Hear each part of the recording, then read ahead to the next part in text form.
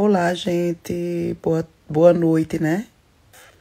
Eu tenho uma coisa muito importante para falar com vocês que eu decidi hoje, que eu estava refletindo aqui e cheguei à conclusão assim que eu quero sair fora de coisa de política, sabe? É uma sujeira, é mentira, sabe? Então, eu não quero misturar isso, eu não preciso dessas coisas de política.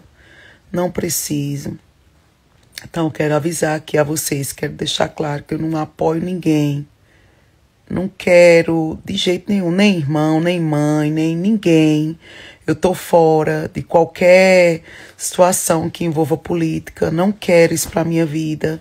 Né? Eu tenho uma vida muito bacana, né? Tenho minha família, né? Meu marido que eu gosto muito né? Quero cuidar dos meus filhos, quero. Não quero me desgastar com confusão, com, com pessoas que não vale a pena também, né? De ajudar, de fazer alguma coisa.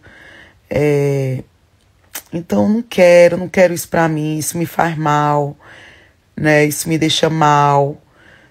É, muita ceboseira, exatamente. Eu não quero isso pra mim, eu tô fora tô fora de verdade. Não, é só. As pessoas mentem demais, criam histórias, situações. Então, não quero. Decidi.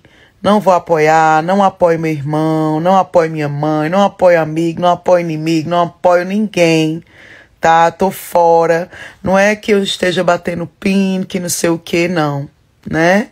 É que isso me desgasta muito, eu não preciso disso aí né? Muita falta de respeito também. Político já está dizendo, olha, deixa eu calada. Quem quiser que ganhe, quem quiser trabalhar que vá, não contem comigo, tá? Não quero, não quero de jeito nenhum. É, e é isso.